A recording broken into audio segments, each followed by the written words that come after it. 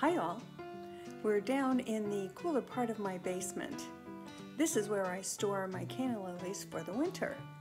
It can range anywhere from 57 to 60 degrees down here during the winter time, and that's perfectly fine for storing canna lilies. They don't mind at all. Today, they are coming out of hibernation. So, come on along with me and I'll show you how I do that. All right, so here we go. There's eyes there that you can see. They're little grow tips. Uh, you can see the roots at the bottom. They're all very dry right now. Here's another one, and the grow tips are there. Again, the dry roots at the bottom. They've been in peat moss um, all winter long in my basement. I'm going to take the ones that I want to use, put them in this pot, and uh, then we're going to rehydrate them.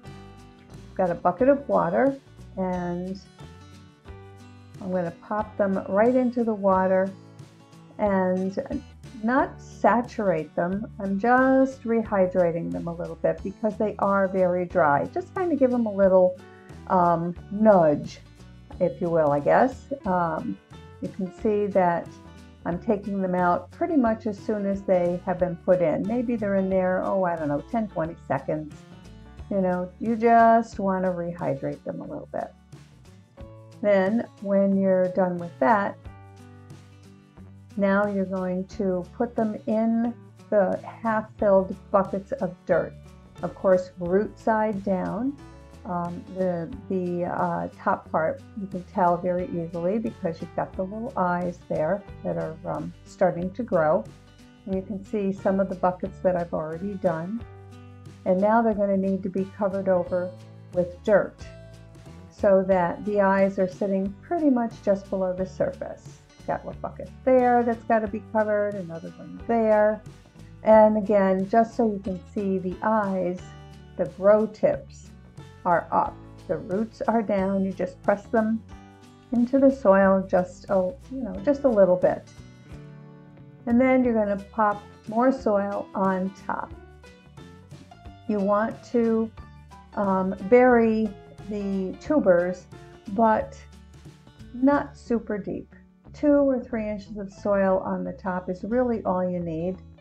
If uh, the soil's a little clumpy coming out of the bag, just break the soil up and just smooth it around. Um, you're gonna shake the pot a little bit, just kind of like tapping everything down so that you get rid of any air pockets. Finish filling it up and then kind of like smooth everything around just so that you know you've got um, soil all the way through and around all the eyes and you shouldn't be able to see any of the uh, grow tips when you're done. They have started growing, but you know, give them a good amount of, of soil. Again, just uh, two or three inches is really all you need. And there you have it. There's eight buckets of canna lilies. Some of them are going to go in decorative pots. Some of them are going to go into seed beds. They're down in my basement under grow lights. And the temperature right now in my basement is 64 degrees. This is not my grow room, which is much warmer than 64.